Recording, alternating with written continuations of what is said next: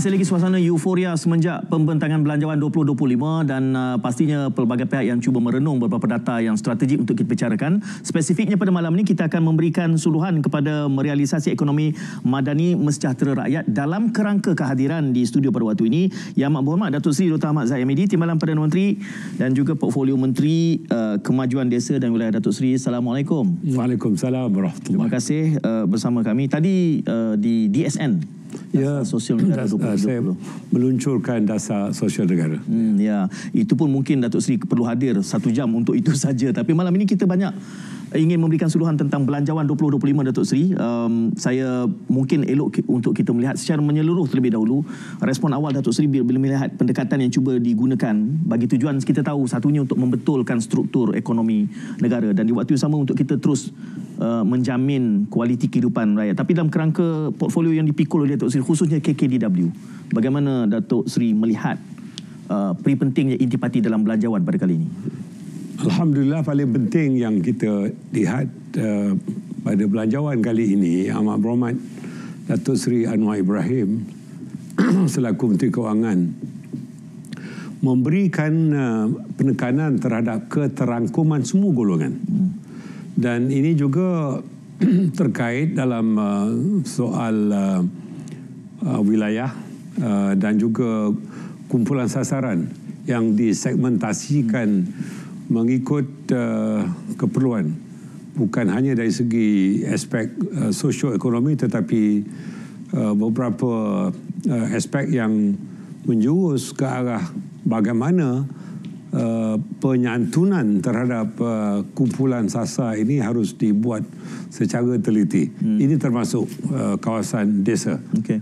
yang uh, walaupun jumlah penduduknya kira-kira tinggal 8.1 juta hmm. tapi kita harus ingat uh, bahawa penduduk uh, desa ini juga tinggal di pinggir bandar Ya. dan tinggal di bandar ya Hmm. dan uh, kita akan lihat nanti ya secara perinciannya bahawa ianya bukan hanya uh, menyentuh mengenai uh, pembangunan infrastruktur seperti dahulu tetapi pembangunan minda soal kerohanian yang yang dipertekankan oleh uh, Ya. yang amat berhormat uh, Perdana Menteri melalui uh, program-program yang kita terjemahkan pelaksanaannya di Kementerian Kemajuan Desa dan Wilayah. Okey. Datuk Sri, uh, Datuk Sri menyatakan tadi bahawa bukan soal infrastrukturnya tetapi itu yang selalu menangkap imajinasi orang orang menunggu pelanjawan ini pembentangannya selalu merujuk kepada itu. Bila elemen keterangkuman dan pembangunan wilayah kalau kita memberikan suluhan spesifik tentang prasarana desa Datuk Sri,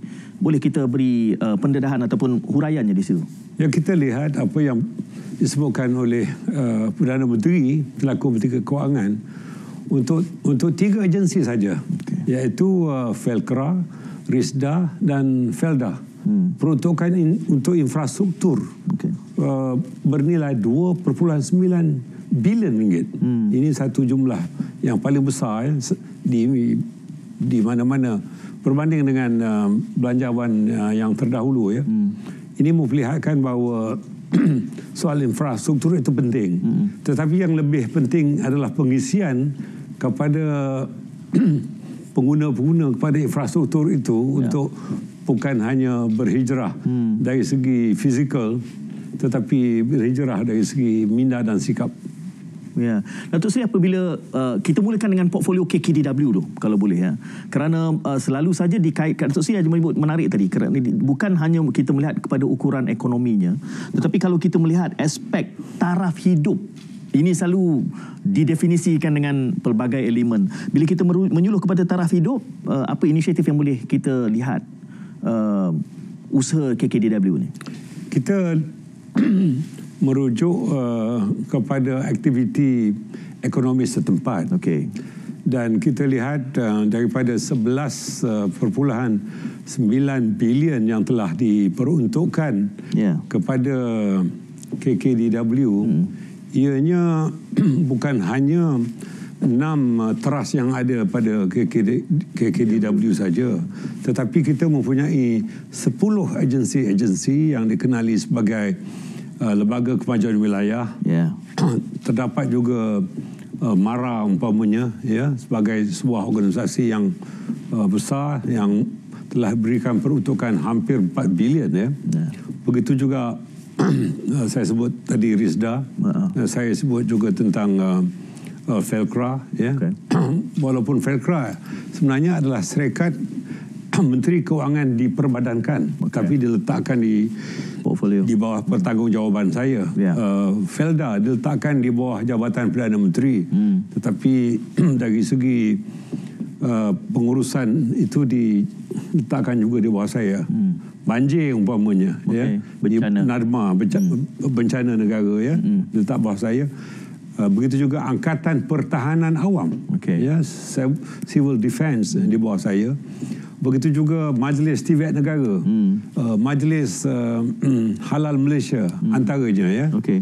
Ada 26 uh, jawatan kuasa kabinet yang saya bantu yang amat berhormat Perdana Menteri Ya.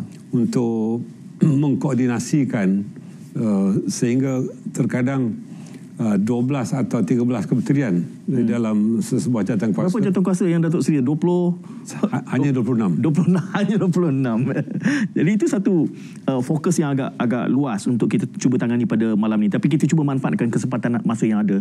Datuk Seri menyebut satu elemen yang menarik tadi TVET dalam konteks pendidikan yang juga Datuk Seri pengerusikan.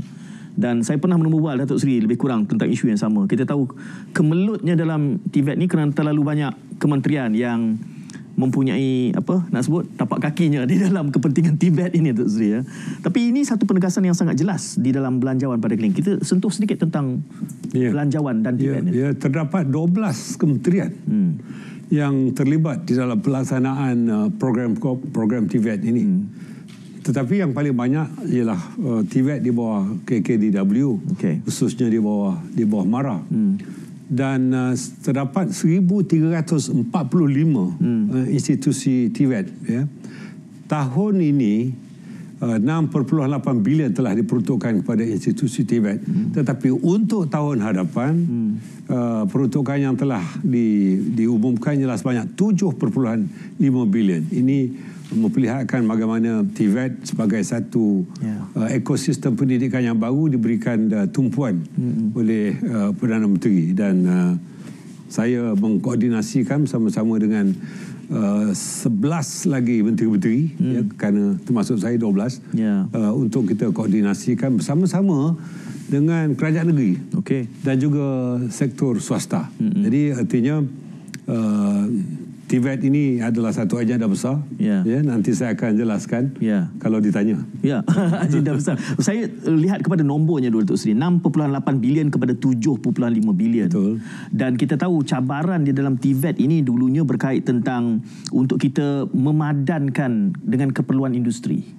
Benar. Ha, jadi bagaimana lebihan 700 juta ini akan cuba digunakan kerana itu keluhan yang masih kita dengar. Tapi dengan strategi peningkatan belanjawan ini bagaimana Datuk? Sebelum itu saya ingin memberikan gambaran ya. Okey. Purata nasional hmm. keboleh pekerjaan untuk lepasan Tibet ini adalah sebanyak 94.5%. Hmm. Artinya daripada 100 orang yang masuk Tibet uh, 94 uh, setengah Hmm. dapat kerja. Dapat kerja. Ya. Dan uh, institusi Tibet di bawah MARA ya. Angkanya lebih tinggi lagi. Hmm. 98.7% daripada uh, lepasan Tibet di bawah um, institusi Tibet MARA ini Okey. memperolehi pekerjaan. Artinya bukan uh,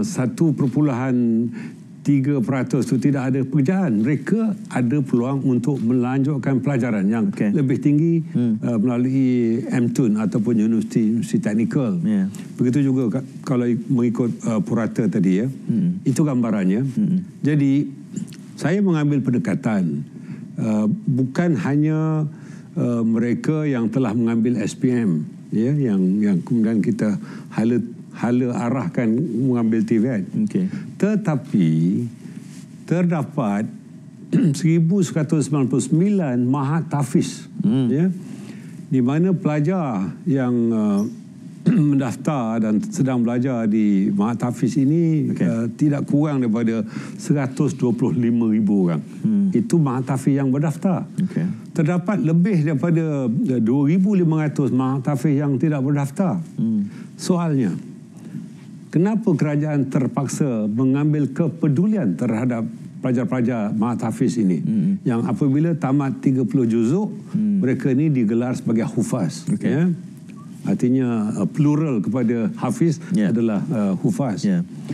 jadi kita nak lihat berapa masjid baru yang dibuka kalau mereka mau jadi imam ataupun mantu imam hmm. berapa mahat tasfih yang perlu dibuka hmm. kalau mereka mau jadi guru hmm. artinya kita halakan mereka kepada TVET hmm. di mana hmm. tempatnya apabila kita uh, lihat ya uh, pilot projectnya dulu 17 orang okay. uh, kita masukkan ke Universiti Kuala Lumpur hmm. dan uh, mereka mengambil uh, uh, kursus di dalam uh, bidang penyelenggaraan pesawat terbang hmm. yang dipanggil sebagai MRO maintenance repair and overhaul ya okay.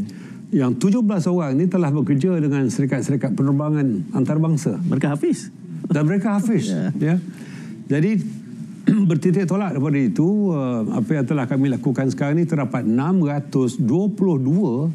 uh, hufaz ini telah mengikuti uh, kursus TVET okay. uh, bukan hanya dalam uh, MRO tadi hmm. penerbangan tetapi uh, di, dalam uh, otomotif ya otomotif hmm. uh, di dalam uh, bidang uh, IoT dalam bidang AI dan robotik serta uh, high TVET ya okay. dan uh, mereka ni senang ya untuk absorb ataupun men, men, mencerna okay. uh, apa saja mata pelajaran uh, teknikal hmm. kerana mereka telah hafal 30 juzuk. Yeah. Jadi alhamdulillah Allah Taala bukakan minda mereka orang kampung orang Perak kata hati depa terang. Yeah. Ya, jadi depa terang hati. Hmm. Jadi ini sangat digemari oleh institusi Tibet kerana uh, soal disiplin tidak ada masalah lagi. Yeah. Kemudian soal uh, Uh, senang untuk mencerna uh, mata pelajaran itu ya jadi kita kita lakukan uh, uh pendekatan yang baru.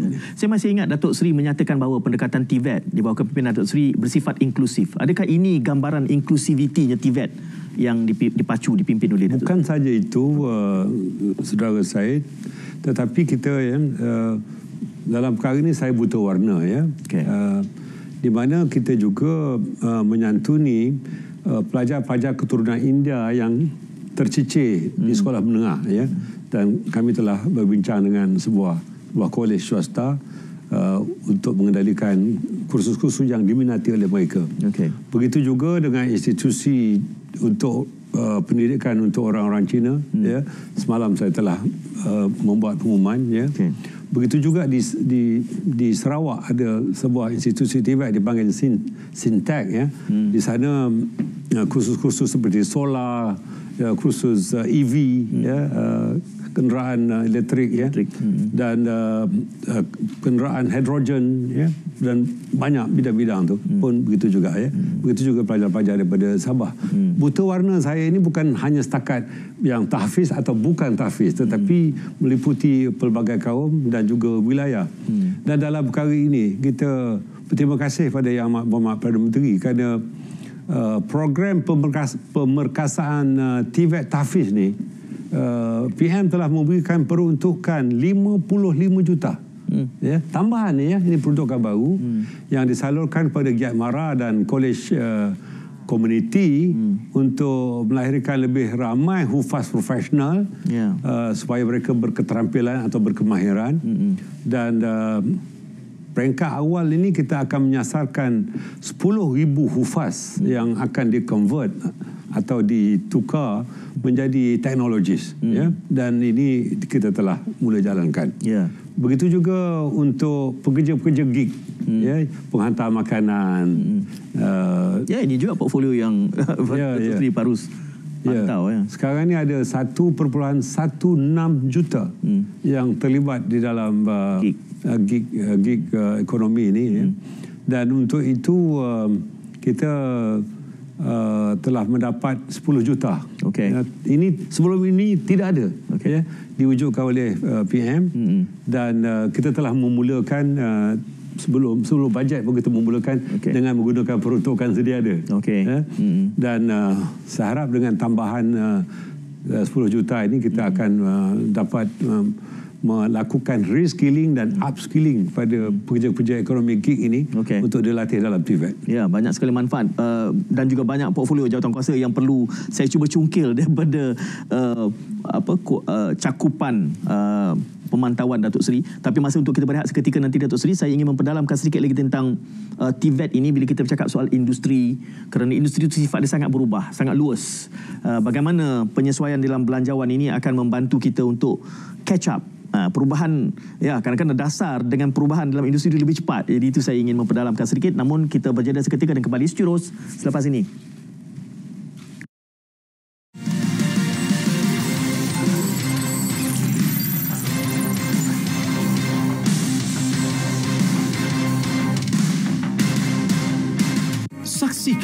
Program pelancongan yang membawa anda ke lokasi untuk mengetahui kesenian dan kebudayaan dalam program Sine Kita Tok kali ini bersama Petroleum Sarawak Berhad Petros.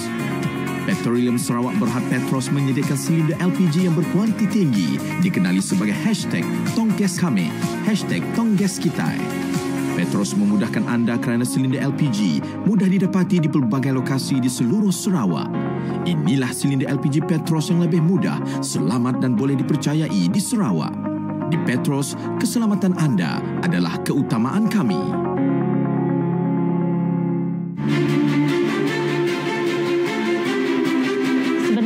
Kehadiran pemangsa yang uh, bilangan pemangsa yang tinggi di sesuatu ekosistem itu menunjukkan keadaan keampuhan yang tinggi berbanding kawasan terumbu karang yang tidak mempunyai pemangsa, bilangan pemangsa yang tinggi. Jadi kita berharap um, berbanding dengan uh, kawasan ekosistem terumbu karang di kawasan yang lain, uh, kita berharap bahawa di pantai Cagah Hutang ini ekosistem terumbu karang dapat um, pulih dengan cepatlah um, uh, berikutan dengan uh, tekanan daripada suhu yang tinggi yang sedang berlaku sekarang. Jangan lupa saksikan Simfoni Alam. 10 setengah malam. Hanya di TV 1.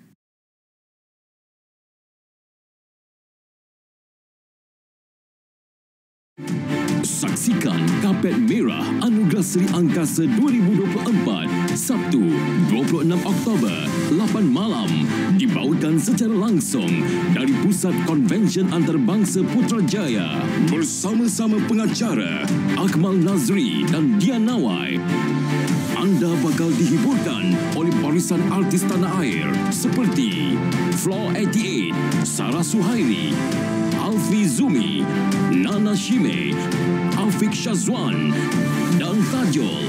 Saksikan Kapet Merah Anugerah Seri Angkasa 2024 Dunia Ria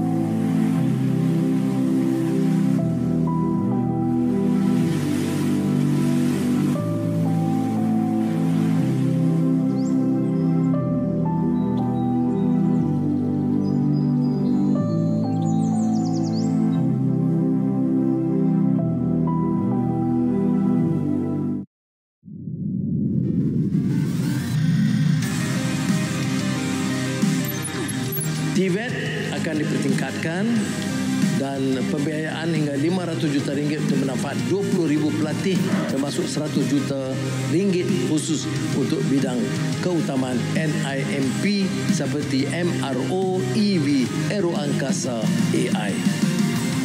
3 bilion ringgit, 3 bilion ringgit akan disediakan HRD Core untuk menawarkan 3 juta peluang latihan. Khazanah menyediakan 200 juta ringgit melalui program pembangunan belia khazanah K-Youth. 11,000 bakat tempatan. Giat Mara dan College Community 55 juta ringgit mengupaya 10,000 anak-anak hufaz dan institusi tahfiz dengan pondok dengan latihan kemahiran dalam tempoh 5 tahun. Giat Mara 3,000 pekerja gig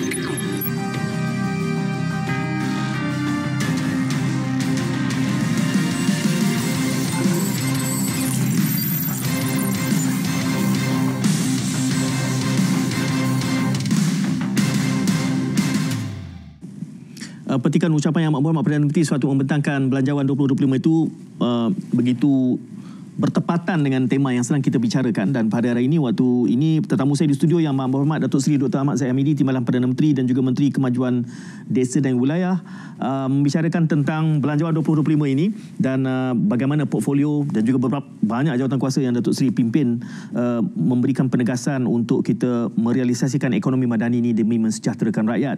Saya gantung satu soalan sebelum kita berehat tadi Datuk Seri tentang TVET ini kerana realitinya kita tahu cabaran. Seperkara adalah strukturnya Datuk Seri kata ada 12 kementerian. Itu telah pun dijelaskan. Dan saya secara peribadi saya nampak apabila Datuk Seri yang mempengurusikan.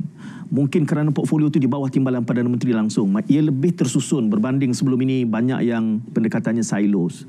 Tetapi di waktu yang sama cabaran lain TVET ini juga adalah selain daripada struktur, perubahan industri itu selalu saja lebih cepat daripada apa yang mampu kita jadikan dasar tahunan. Jadi apa strateginya Datuk Seri mempengurusikan Di TVET? dalam pengurusan atau manajemen dipanggil hands on.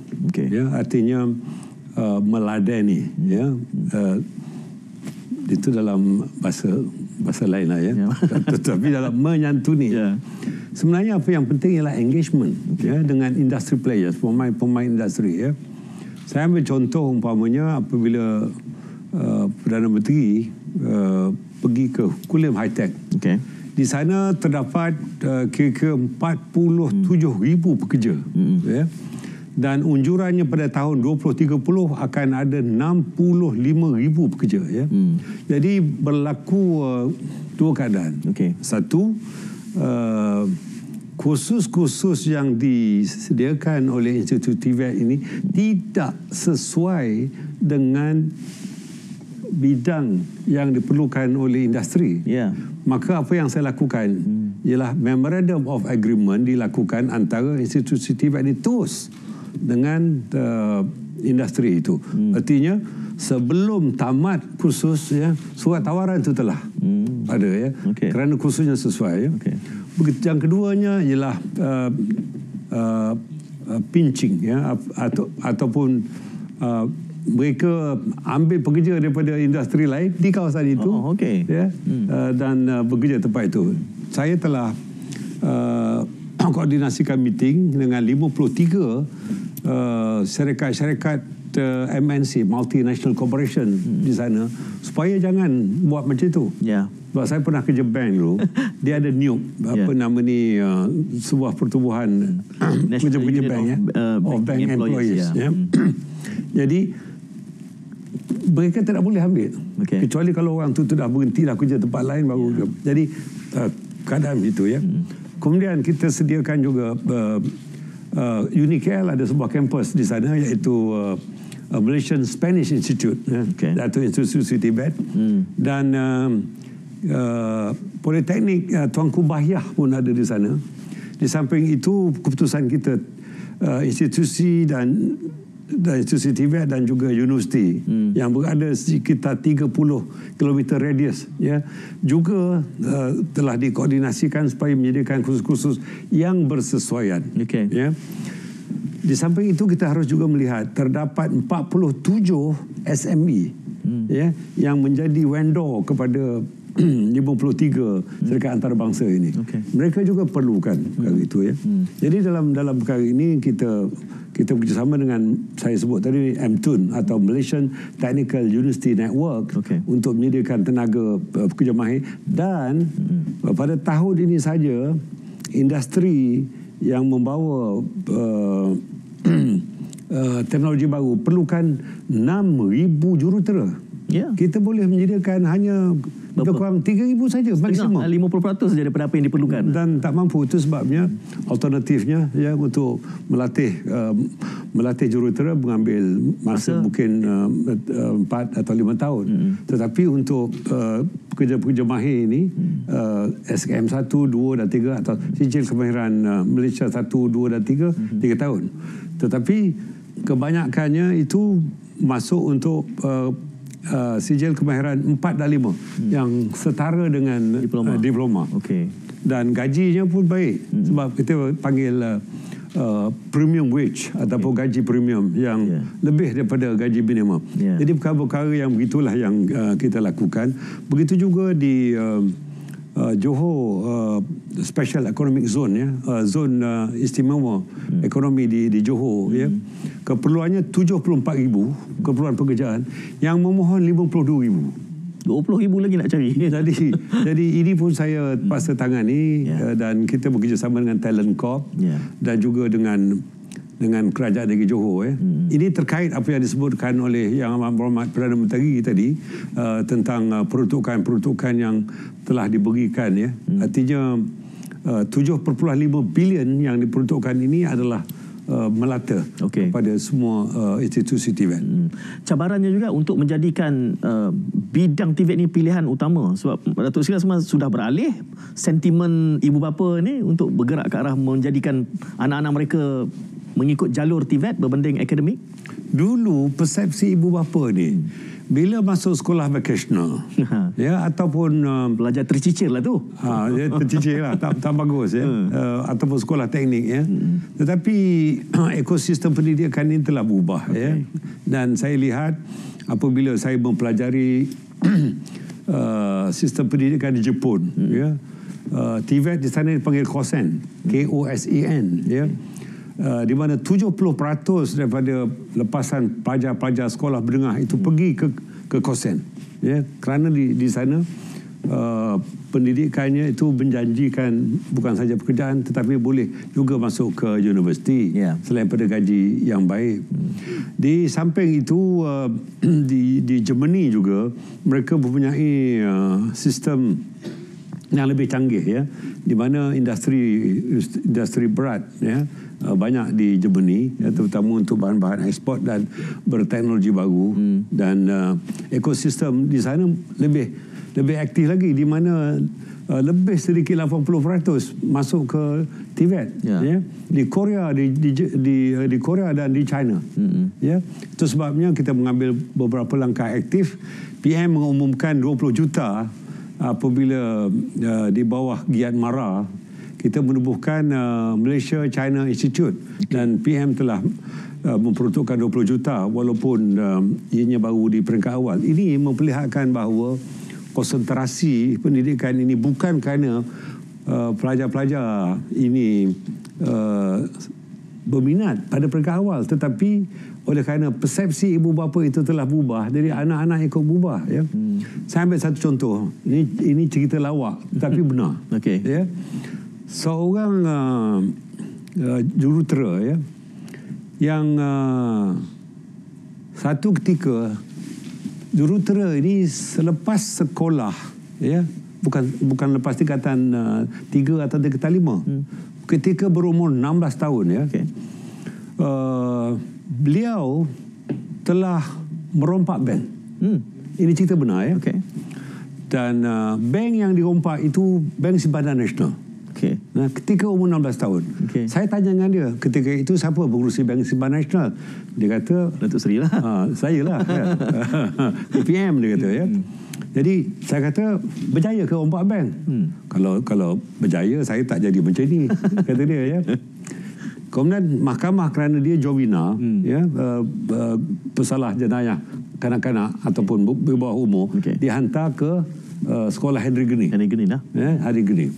Semasa di Henry Geni itu, hmm. ya, dia dia tidak ambil PT3 atau S, uh, apa SRP atau SPM, tetapi dia di di dilatih untuk dalam SKM. TVET, Hmm. dalam SKM, Ya. ya.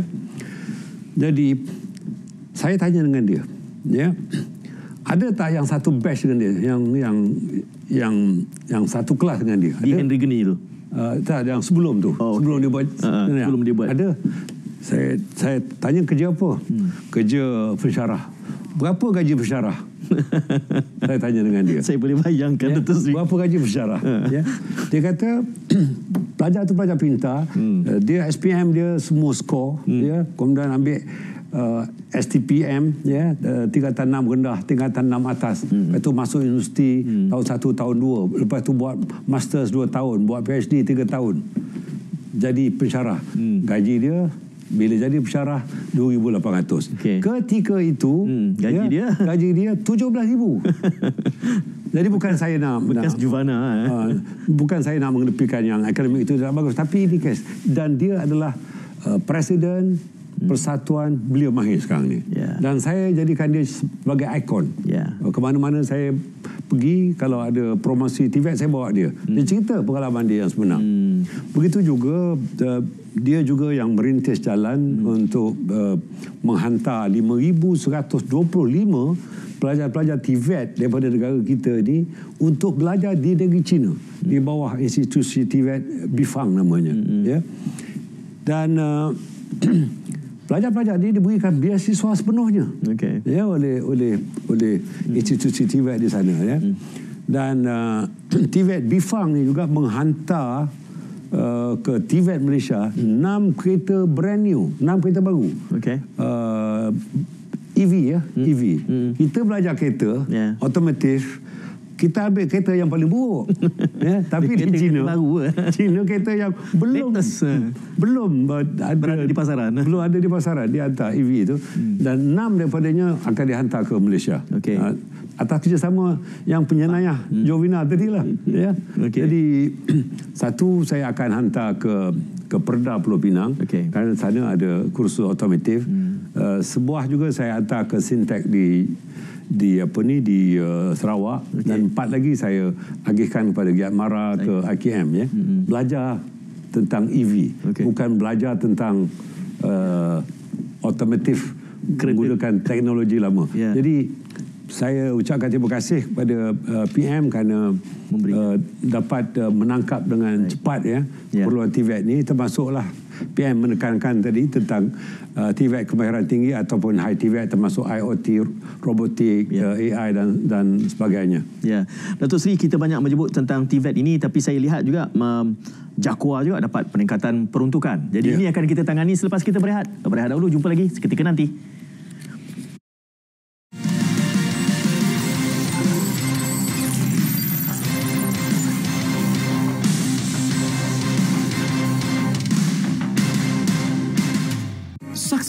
Program pelancongan yang membawa anda ke lokasi untuk mengetahui kesenian dan kebudayaan dalam program Sine Kita Tok kali ini bersama Petroleum Sarawak Berhad Petros. Petroleum Sarawak Berhad Petros menyediakan silinder LPG yang berkualiti tinggi dikenali sebagai hashtag Tonggas Kami, hashtag Tonggas Kitai. Petros memudahkan anda kerana silinder LPG mudah didapati di pelbagai lokasi di seluruh Sarawak. Inilah silinder LPG Petros yang lebih mudah, selamat dan boleh dipercayai di Sarawak. Di Petros, keselamatan anda adalah keutamaan kami.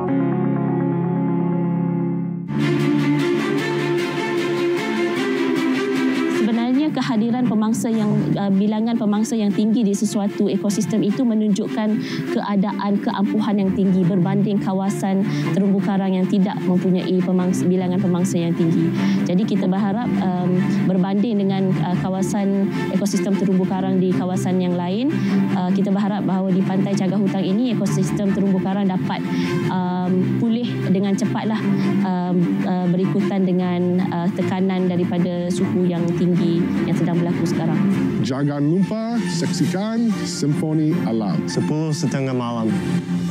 Hanya di TV 1.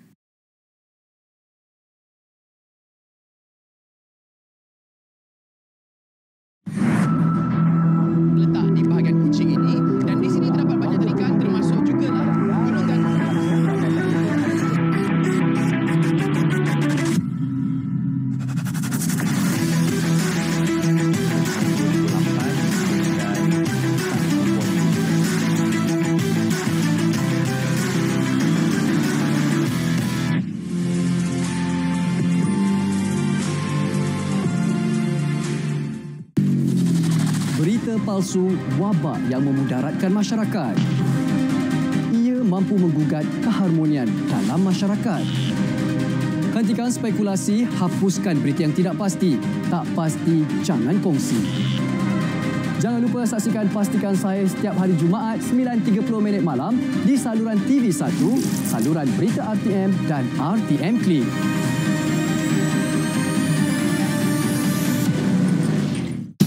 Sistem aplikasi MES 999 bantuan kecemasan kini lebih mudah.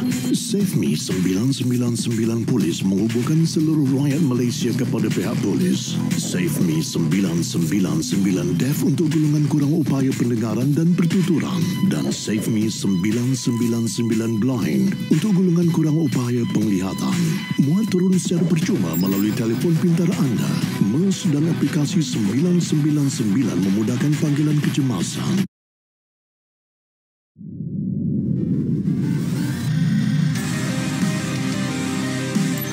Orang asli dalam banyak ikhtiar telah diumumkan. Tapi peruntukan ditambah menjadi 380 juta ringgit untuk menaikkan taraf hidup mereka. Ini termasuk ladang orang asli.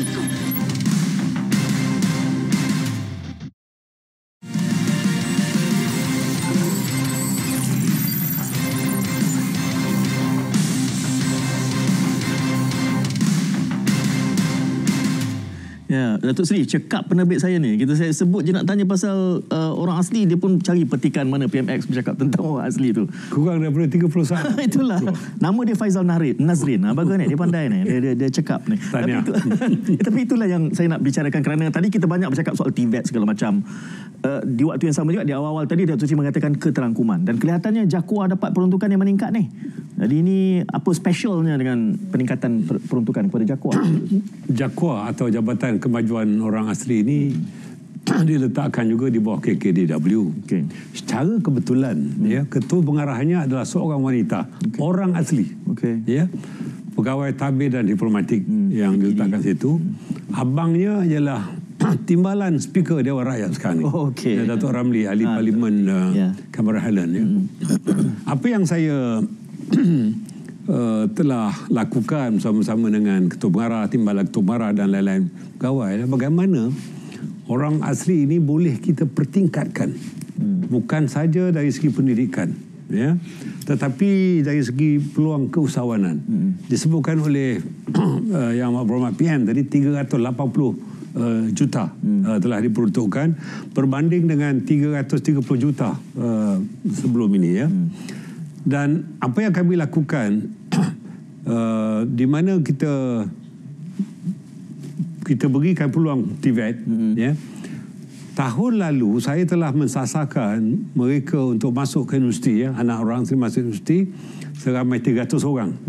The last uh, yang masuk itu uh, uh, angka yang tepat ialah 417 orang. Artinya lebih daripada sasaran.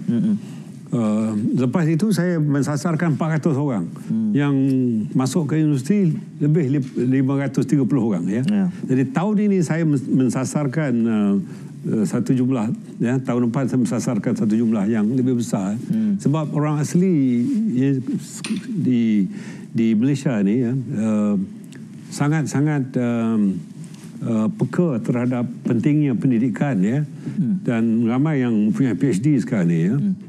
Dan uh, untuk untuk itu uh, bagi orang asli ya daripada 380 juta ya hmm. mereka disediakan uh, kenderaan untuk ke sekolah Okey. um, kalau yang pendalaman mereka di, disediakan apa nama ni uh, sampan ataupun bot ya dan mereka diberikan wang poket empat ringgit sehari hmm. ya dan hanya yang datang ke kelas sajalah yang yang da- dapatlah. Ya. Okey. jadi artinya uh, perkara-perkara yang yang begitu kami, berikan penekanan soal kesihatan mereka ya. Uh, klinik-klinik khusus ya. Dan uh, begitu juga uh, untuk mengatasi masalah tanah isu tanah ya. Hmm. uh, dan uh, curun yang runtuh maklum, maklum dia mereka berada di kawasan Ya. pendalaman ya. Ini di, juga disediakan. Hmm. uh, PM memberikan 18 juta di situ. Hmm. begitu juga 10 juta uh, diperuntukkan ini tambahan juga ya selain pada yang tadi untuk kerjasama antara Jakwa dengan NGO ada sebuah NGO yang telah uh, mencadangkan uh, kepada Perdana Menteri untuk membuat rumah moden bagi orang asli ini dengan kos yang lebih rendah daripada kos pembinaan cara konvensional. Hmm. Ini pun berikan perhatian. Hmm. Dan yang lebih penting saya saya lihat uh, di sini ya, di mana uh, saya bertemu boleh katakan semua penghulu dengan tok batin seluruh seluruh negara ni okay. bila kami kumpulkan satu tempat hmm. dan bila ada pilihan raya baru ni di Nenggiri uh, Gua, Gua Musang yeah. saya pergi ke tiap-tiap pusat daerah mundi orang asli ya hmm. dan uh, saya saya sangat hormat mereka kerana apa yang mereka janji itu uh, mereka lakukan hmm. artinya janji yang ditepati ya yeah. Jadi ini mendekatkan saya dengan mereka untuk untuk komited membantu lebih banyak lagi yeah. dan uh, begitu juga tentang uh, sekolah-sekolah orang asli ya di kawasan pendalaman hmm. saya ucapkan terima kasih pada guru-guru yang sanggup ya uh, mengajar ya yeah. jauh ya uh, uh, 7-8 jam baru sampai ya, uh, ke sekolah orang asli itu yeah. dan uh, dan jalannya masya Allah ya hmm. sangat teruk hmm. dan uh, baru-baru ini kita juga telah membuat uh, jalan uh, uh, perhubungan desa uh, 90 uh, 4 juta ya di kawasan yang berkenaan dan banyak kawasan-kawasan yang lain hmm. namun kita kita berterima kasih kerana bukan saja pegawai-pegawai ya, NGO di kalangan orang asli juga telah membantu kami dan uh, yang yang penting ialah mobility sosial itu okay. uh, di, dilakukan dan uh, saya tentunya mengucapkan berbanyak-banyak terima kasih di atas keperhatian uh, Perdana Menteri hmm. yang saya sebut keterangkuman ini ya. bahawa orang asli juga tidak pernah ketinggalan. Hmm. Datuk Sri kita merujuk kepada Jakwa tapi di awal tadi Datuk Sri juga ada menyebut beberapa institusi yang mungkin lebih besar dalam konteks pengoperasiannya RISDA, Felkra, Felda ini. Bagaimana pemekasaannya diberikan dalam konteks belanjawan 2025? Saya setelah sebutkan uh, bahawa sebanyak 2 perpuluhan uh, 2 perpuluhan uh, 6 bilion ya telah diperuntukkan kepada Rizda, Felkra dan juga Felda. Hmm. Walaupun Felda tu itu diletakkan di bawah jawatan Perdana Menteri tapi tanggungjawab menteri yang bertanggungjawab tu adalah saya hmm. dan saya bawa juga uh, pengarah besar untuk uh, bermusyarat setiap minggu dengan dengan saya bersama-sama dengan pegawai pegawai yang lain. Hmm. Dan uh, Rizda umpamanya ya uh, uh, selain pada Felkra kita telah uh, melihat bahawa berlaku pengimportan latex, getah latex ya. Getah. Getah latex bernilai 6 bilion. Import. Import. Hmm. Untuk sarung tangan dan ya. buat lain ya. Jadi kita pengeluar ya. Ya, sedangkan kita penanam getah. Dulu kita pengeluar pertama ya. Betul. Yang terbesar di ini. Hmm. Sekarang kedudukan kita nombor 6 di dunia. Hmm. Oleh sebab itu PM sangat prihatin di mana uh, geran padanan sebanyak 60 juta telah diperuntukkan ya, ya di di bawah program galakan pengeluaran latex pekebun kecil ini ya dan ini um, setiap tahun akan ditambah tentunya bagi kita sendiri memerlukan latex dan yeah. tidak perlu mengimport. Mm-hmm. Begitu juga RISDA diberikan uh, peruntukan sebanyak 20 juta tambahan daripada peruntukan yang ada mm-hmm. untuk kebun-kebun getah yang terbiar mm-hmm. supaya diusahakan semula mm-hmm. dan um, kita melakukan uh, pendekatan uh, pajakan kepada tanah-tanah berkenaan. Okay. Kadang-kadang uh, macam di Parit sendiri banyak uh, apa ni kebun-kebun. Orang penonton tak tahu tu kampung saya tu. Datuk Seri merujuk kampung saya. banyak uh, kebun getah yang terbiar. Saya. sebab orang tua-tua yang yeah. tidak ada kemampuan lagi ya. Terutamanya uh, orang tua yeah. saya sendiri telah berumur 87 tahun. Saya. Uh, anak-anak pun tak memenuhi lagi. semua. semua nak kerja jadi jadi jadi Ada, tugas di RTM betul? Ya, tugas di sini. Jadi begitu juga bukan saja di Pagi tetapi di tempat lain. Jadi uh, Rizda mengambil pertanggungjawaban ini untuk uh, merealisasikan apa yang diharapkan oleh uh, PM dalam perkara ini. Hmm. Begitu juga kita lakukan uh, mitigasi dan kawalan penyakit hmm. daripada serangan uh, prosa ya hmm. uh, dan juga kita juga uh, akan memulihkan tanah terbiar seluas 8,500 ekar hmm. uh, yang dimajukan oleh lembaga-lembaga kemanjangan wilayah dan uh, agensi-agensi rangkaian di bawah KKDW hmm. dan di samping itu juga uh, sebagaimana saya pernah nyatakan hmm. uh, bahawa kita akan memperkembangkan sawah padi okay. di Sabah dan Sarawak hmm. sebab kejayaan Felkra umpamanya melakukan uh, transformasi uh, ladang ya, uh, sawah hmm. uh, padi ladang padi ya, ya di ya. seberang Perak okay. dan yield atau penghasilannya yang, yang kedua tertinggi uh, selepas uh, sekincan sekincan ya hmm. dan ini kita lakukan sebagaimana diumumkan oleh Premier Sarawak dan Ketua Menteri Sabah ya okay. uh, kita tidak berhajat mengambil hak milik tanah yeah. uh, persendirian itu tetapi kita hmm. akan mengadakan perjanjian supaya kita mengusahakan di mana dividen uh, atau keuntungan akan diberikan pada mereka dan hmm. ini telah juga di diambil kepedulian oleh Perdana Menteri dalam pengumuman hmm. belanjawan baru-baru ini. Ya. Datuk Seri kita akan berehat seketika dan sekembali nanti saya melihat uh, elemen lama dah saya tenanti-nanti uh, sudah dikembalikan bincang tentang halal uh, dalam belanjawan. Jadi itu kita akan sentuh selepas kita berehat Datuk Seri boleh ya? Kita berehat dahulu dan kembali sejurus selepas ini.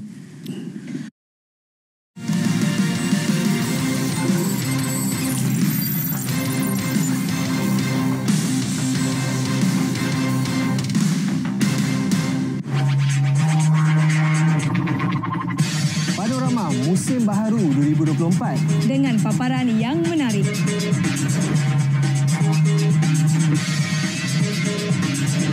Arus kemajuan teknologi. Variasi terbaik dari sudut kebudayaan dan kesenian.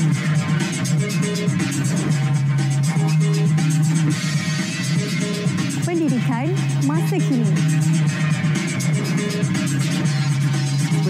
Saya Harid Daniel. Saya Nisaki. Saya Hafiz Samad. Dan saya Nolain Sofina. Panorama. Setiap Isnin. 10.30 malam. Hanya di TV1. Mewarnaimu hanya di TV1. Di kurung komunis dan disembelih dipotong tengkuk di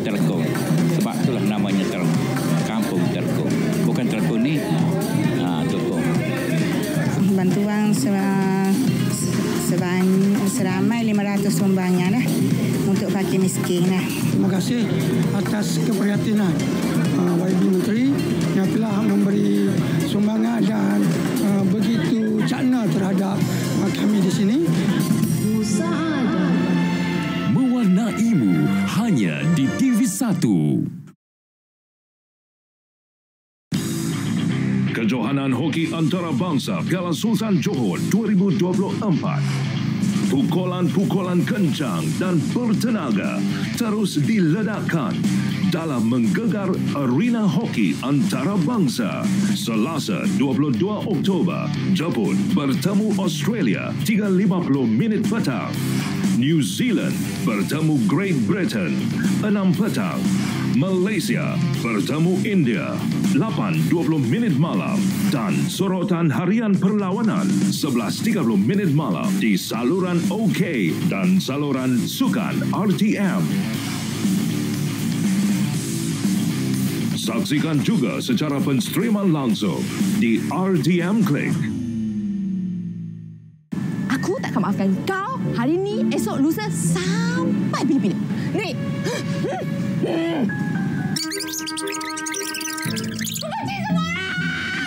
Nak pikat Azam. Jangan kata nak pikat. Dekat pun belum tentu tahu. Cikgu Alia pakai baju kurung, pakai sepit. Ah, ini memang aku pakai selalu. Lepas pakai cermata, lepas tu jalan kepit-kepit. Kalau Alia dulu naik motor, tekankan kangkang. Kau nak yang mana? Saya Alia binti Asri mengaku saya sukakan Azam.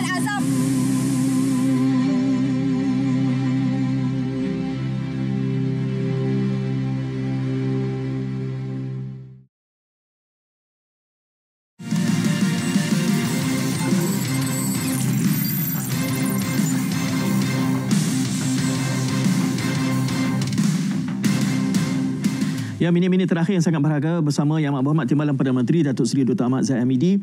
Uh, kita membincangkan secara spesifiknya berkaitan tentang belanjawan 2025. Saya tahu portfolio selain daripada KKDW, Datuk Seri juga menyebut hanya 20 lebih sahaja jawatan kuasa yang... Ini semua dijadualkan Datuk Seri. Ya? ya. Saya bayangkan bagaimana cakupan uh, keprihatinan Datuk Seri. Tapi saya bangkitkan tadi tentang halal ni kerana saya dapati Datuk Seri juga uh, melihat perkembangan halal ni. Jadi belanjawan pada kali ini apa cerita tentang halal Datuk Seri? Sebagai pengurusi Majlis uh, Halal Malaysia, uh, satu pertanggungjawaban untuk kita mengeksport produk-produk halal daripada Malaysia. Untuk maklumat Zaid, pasaran dunia pada tahun ini saja bernilai 3 trilion US dollars. dan unjurannya pada tahun 2030 5 trilion US dollars. Uh. Tetapi kita mengekspor produk halal tahun ini cuma 54.7 bilion ringgit. Hmm. Artinya berapa peratus saja ruangan dan peluang itu cukup banyak ya. ya. Itu sebabnya Perdana Menteri telah mengumumkan uh, peruntukan sebanyak uh, 600 juta ringgit ya untuk diberikan kepada pengusaha-pengusaha uh, mikro, kecil dan sederhana dalam halal ini. Hmm dan uh, peruntukan ini disalurkan melalui Bank Pembangunan Malaysia mm-hmm. dan juga SME Bank. Mm. Dan di samping itu uh, Syarikat Jaminan Pembiayaan Perniagaan atau SJPP menjadikan jaminan sehingga 80% dan jumlah keseluruhan 1 bilion. Mm. Ini, ini tidak pernah terjadi sebelum ini ya. Yeah. Dan dalam uh, keadaan yang sedemikian ya, uh, saya merasakan ya, uh, terima kasih kepada Jakim ya hari hari uh, Ahad yang lalu ya saya telah uh, ke Kuantan ya di dalam satu program yang panggil Halal on Track ya hmm. kita kita memberikan kursus kepada bakal-bakal pemohon sijil halal ini untuk mengikuti kursus hmm.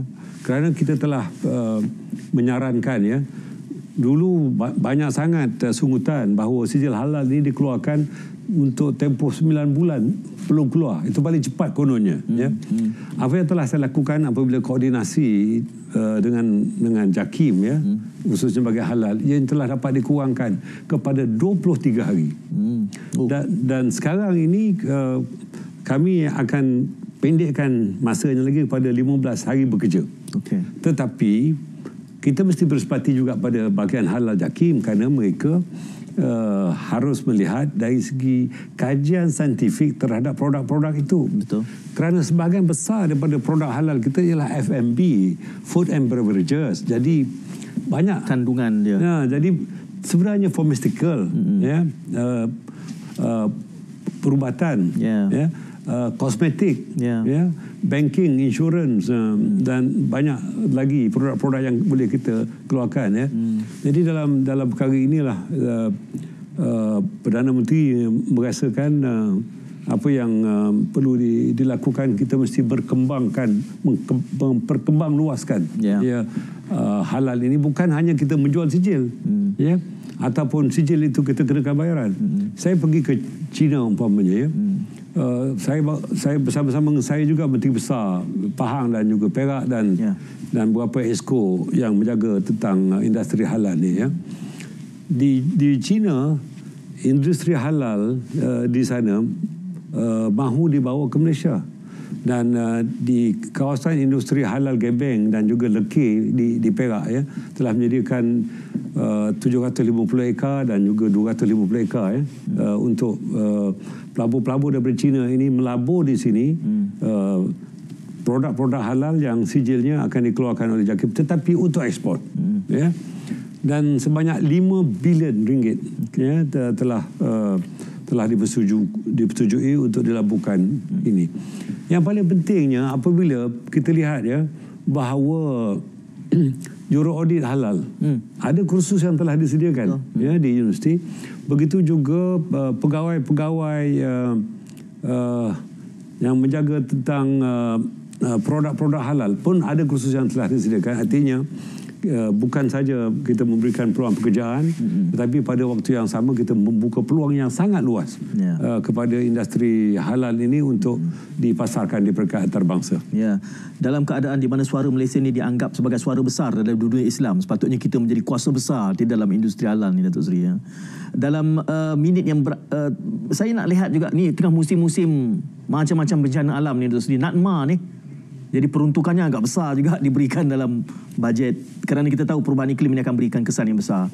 Uh, Datuk Seri juga melihat elemen bencana ni di bawah tanggungjawab Datuk Seri. Saya saya saya bukan mahu apa nama ni uh, ujub ya ataupun mengangkat diri tidak ya tetapi ketika saya menjadi uh, timbalan Perdana Menteri pertama kali dulu ya. Ya. Uh, sebelum pusingan kita, dahulu. Uh, sebelum kita ke Cundang ya, saya telah menjaga uh, soal bencana negara ni ya. Hmm. Dan uh, Narma diwujudkan uh, setelah uh, menukar jawatan kuasa bencana negara di bawah Majlis Keselamatan Negara menjadi NADMA ya. Ya. Uh, Jadi NADMA juga saya santuni ya.